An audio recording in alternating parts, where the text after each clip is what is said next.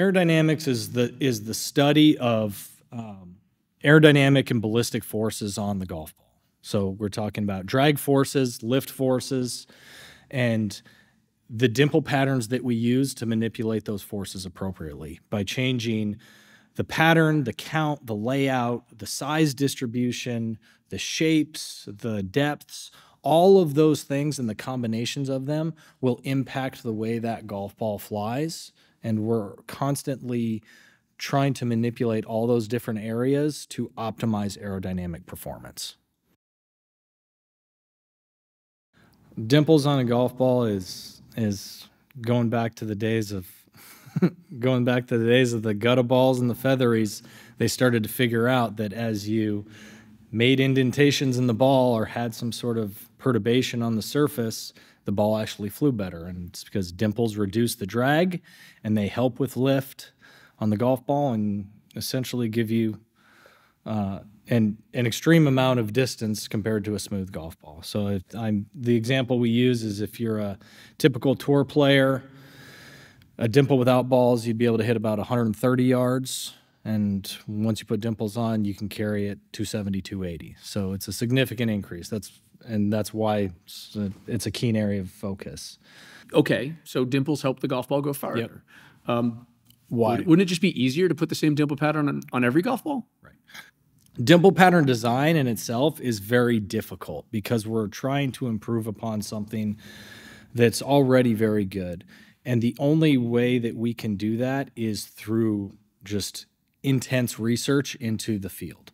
So we are constantly designing brand new dimple patterns. We build the tooling, we build the golf balls, and we test them. There's no real magic bullet to know what a dimple, whether a dimple pattern is going to be great or not once we design it. We've got to build the balls, we test them in the indoor test range, and we see what's best. So because of that, we're always doing different research, and we have a lot of different dimple patterns that are good in other areas. So what that means is when we go into product development and we're looking at certain golf balls, we have we have target golfers that we're trying to help make better, right? So for that target golfer, we're going to dial in the construction to the best of our ability.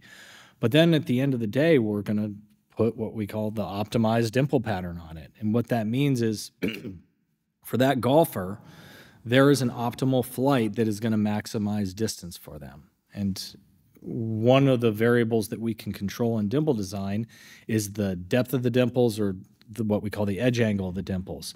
So by changing that, you can manipulate the, the trajectory of the golf ball. So if you make the dimples really deep, the ball is going to fly really low. And if you make the dimples really shallow, it's going to fly really high. So you can imagine there's always a point where the dimples are too deep and you're too low, you're not getting enough distance and there's a point when they're too high and you're not getting enough distance. The analogy we like to use is the garden hose. Everyone's been out in the yard with the garden hose and they point it and they're trying to get to that far flower bed to get water on it, but they're out of hose. So they start lifting up their arm and it gets the water goes a little further, a little further, a little further, but then they get too high and it starts to come back. So they drop it back down. They've found that optimal trajectory for the water. We're doing the same thing with dimples.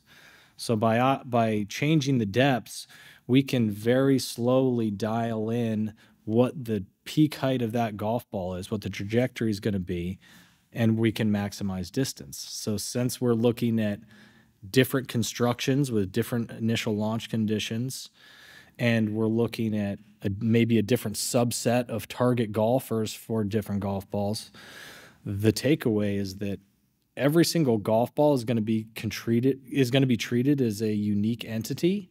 So once we have the construction designed and we know what those launch conditions are going to be, we're going to test it with a bunch of different dimple patterns at a bunch of different depths, and we're going to find out the one pattern that best maximizes performance for that golf ball and optimizes the distance. So it doesn't mean that two things couldn't necessarily have the same dimple pattern, but they don't for us because we're always just the it's never, hey, can we just use this on these two? It's always what is the best one? So we always just pick the best one. And because of that, every product that we have ends up having a dim- different dimple pattern. On it. So Pro V1 and Pro V1X having different dimple counts, different dimple designs are because if you didn't, they wouldn't go as far. Is that a fair way to say it? Right. So we're and with Pro V1 and Pro V1 X, it's a perfect example because we're trying to offer options to our golfers with those two golf balls. We're trying to give trajectory options. So Pro V1 X intentionally flies higher than Pro V1. That's by design. But because of that, we are better off finding a dimple pattern that's optimized at a higher trajectory for Pro V1X and finding a dimple pattern that's optimized at a lower trajectory for Pro V1. I could take the dimple pattern that's on Pro V1X, make the dimples deeper, and make it fly at the same trajectory, peak height type window of Pro V1, but it wouldn't be as long because that's not where that pattern is optimized. It's optimized to fly higher. So that that uh, kind of unique property of dimple patterns is where they where they like where they essentially like to fly in the air allows us to optimize that trajectory and maximize distance for every product.